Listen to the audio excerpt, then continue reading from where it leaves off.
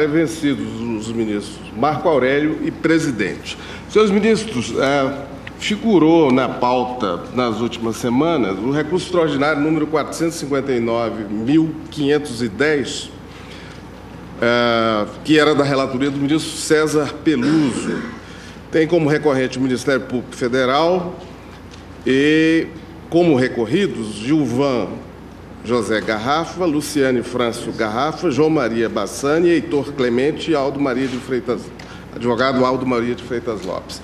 Eu vou apenas me limitar a proferir o meu voto, já que esta é a minha última sessão. Eu adianto que eu vou pedir. O ministro Toffoli. Apesar de já ter votado, eu peço vista. Sim, para que o processo não fique inconcluso aí durante mais um tempo.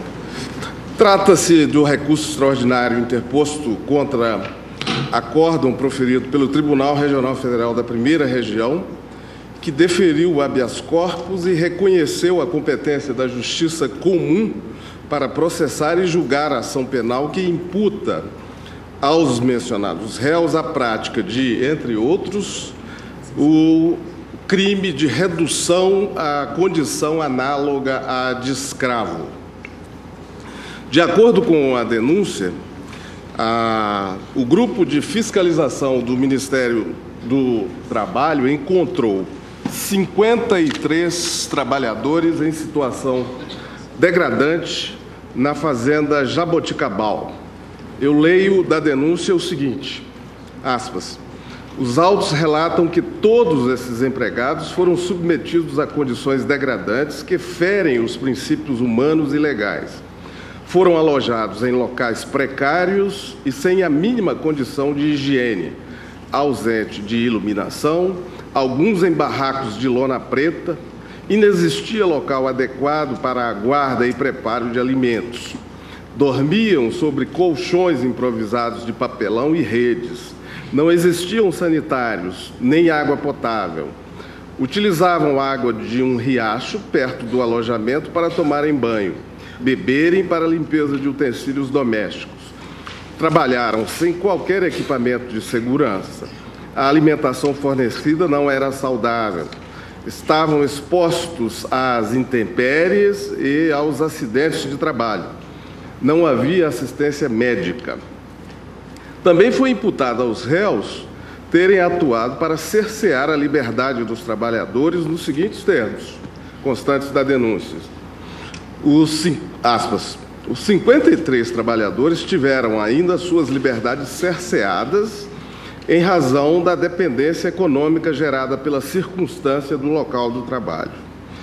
O gato, é, que é o, o agenciador do trabalhador em condições semelhantes, o gato João Maria Bassani tratou de convencê-los de que, sobre o preço estabelecido pelas diárias de trabalho, já estariam incluídos a alimentação e medicamentos. Todavia, a realidade era muito diferente. Muitos já chegaram à fazenda endividados, vez que o gato já havia quitado as despesas que estes contraíram nas pensões das cidades.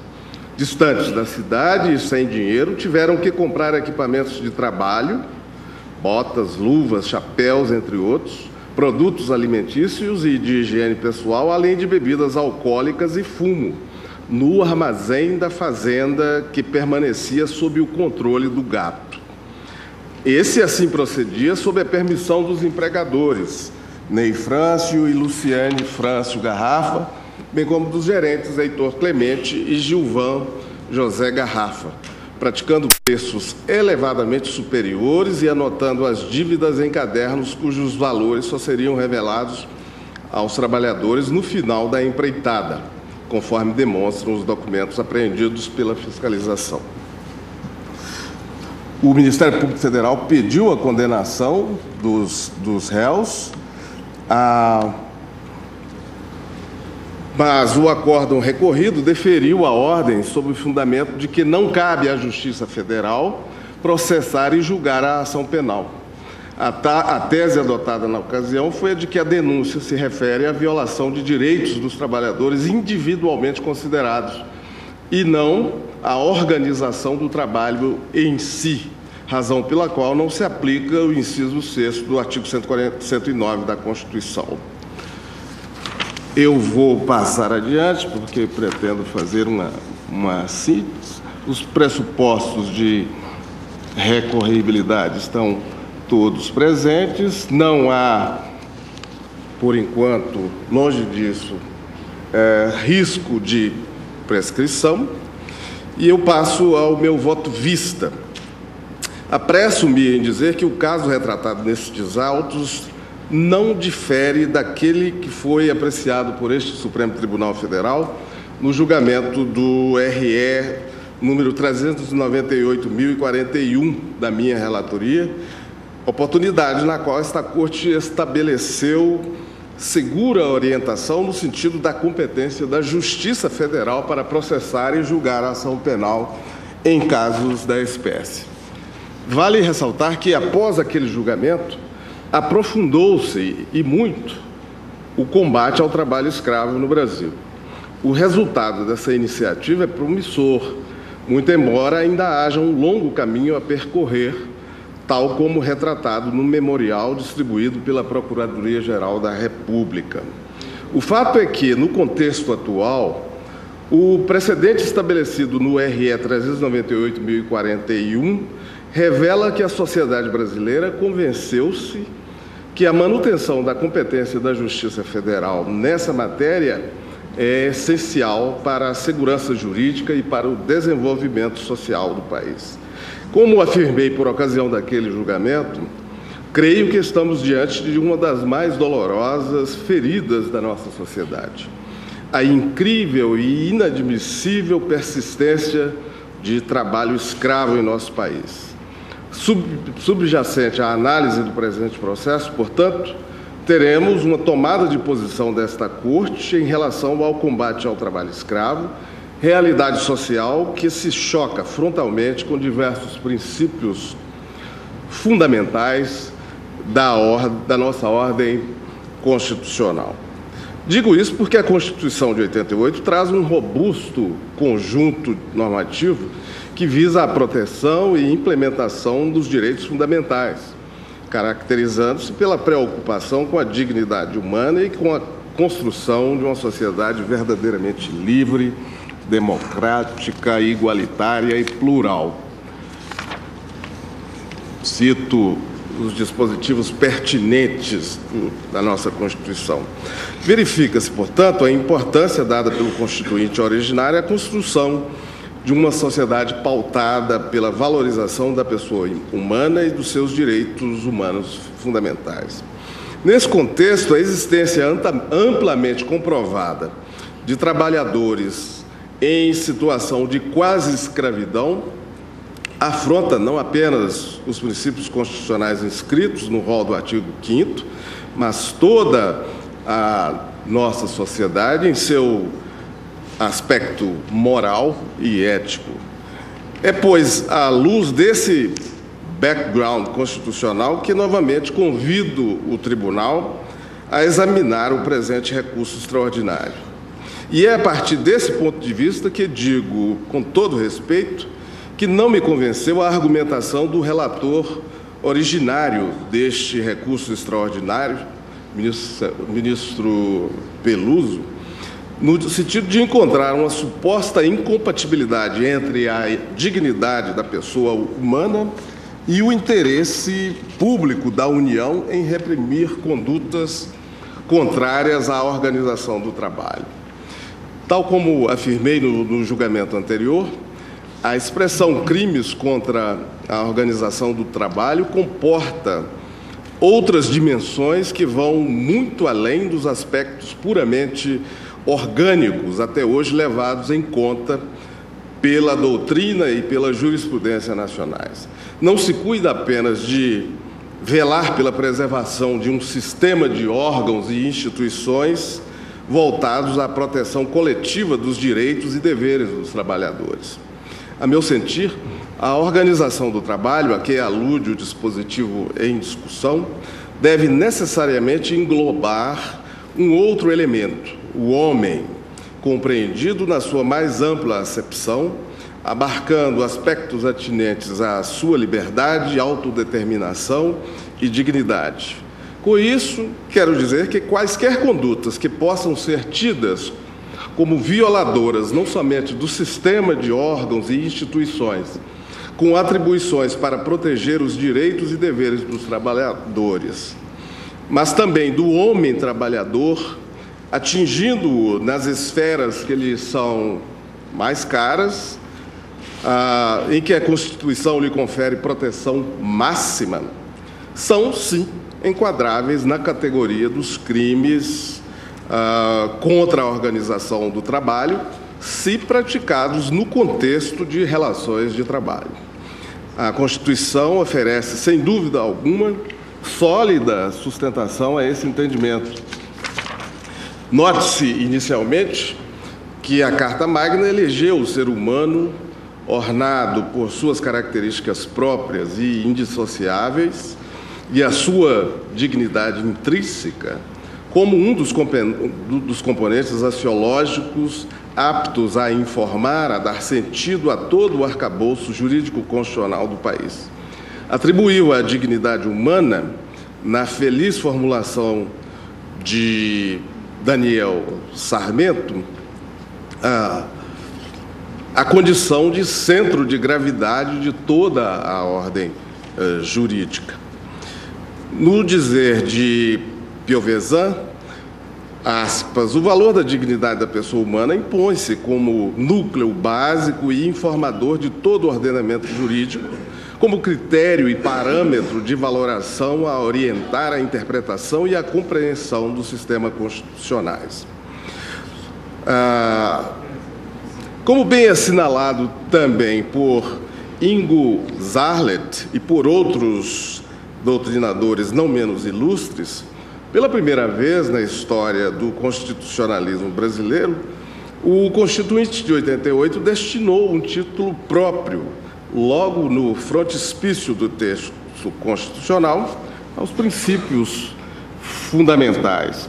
Com isso, diz Arlett, o Constituinte deixou transparecer de forma clara e inequívoca a sua intenção de otorgar aos princípios fundamentais a qualidade de normas embasadoras e informativas de toda a ordem constitucional, inclusive dos direitos fundamentais, que também integram aquilo que se pode denominar de núcleo, núcleo essencial da Constituição. Passo adiante. Ah, como não poderia deixar de ser, esse arcabouço principiológico e filosófico reveste-se de juridicidade e tem potencial para acarretar consequências práticas.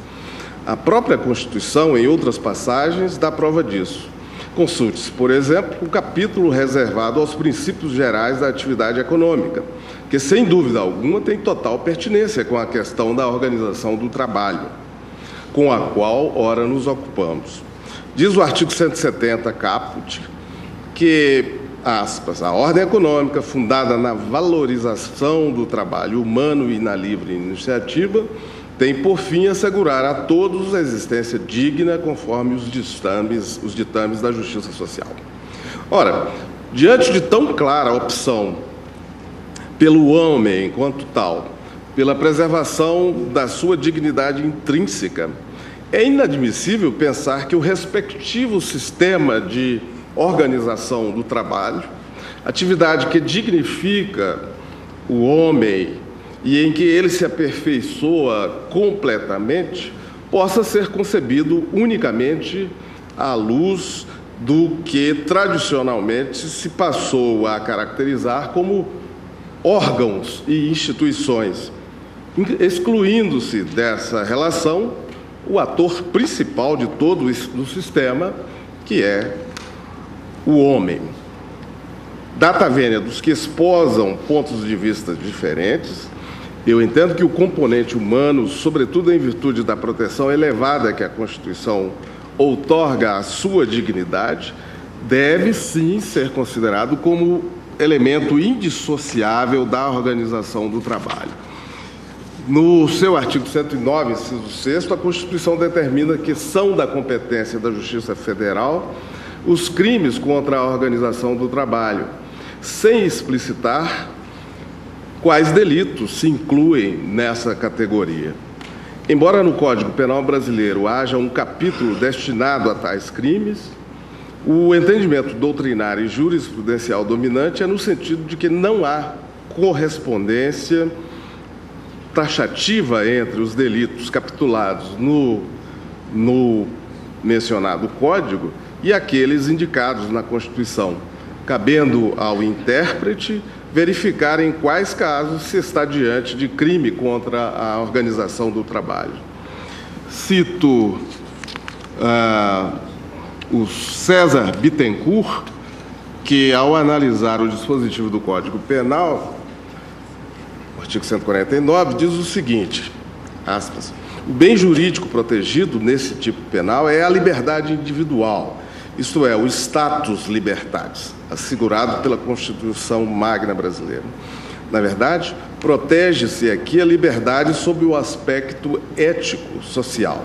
A própria dignidade do indivíduo, também igualmente elevada ao nível de dogma constitucional. Reduzir alguém à condição análoga à de escravo fere, acima de tudo, o princípio da dignidade humana, despojando-o de todos os valores éticos sociais, transformando-o em res, no sentido concebido pelos romanos. E nesse particular, a redução à condição análoga à de escravo difere do crime anterior, o de sequestro ou cárcere privado, pois naquele a liberdade consiste na possibilidade de mudança de lugar, sempre e quando a pessoa queira sendo indiferente que a vontade desta dirija-se a essa mudança.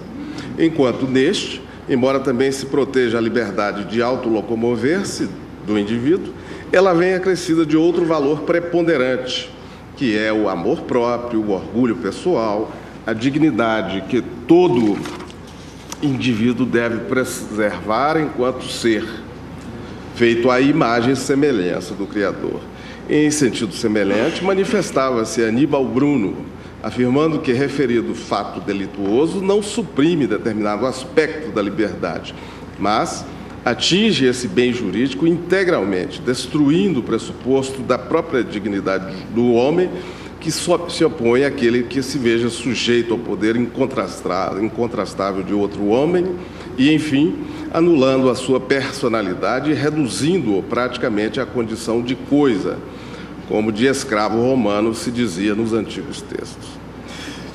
Vale ressaltar ainda que o precedente do RE 398041 observou integralmente a orientação extraída do RE 90042, da relatoria do ministro Moreira Alves, acórdão no qual foi consagrada a tese de que agride o bem jurídico organização do trabalho a conduta criminosa que atinge o interesse de ordem geral na manutenção dos princípios básicos sobre os quais se estrutura o trabalho em todo o país.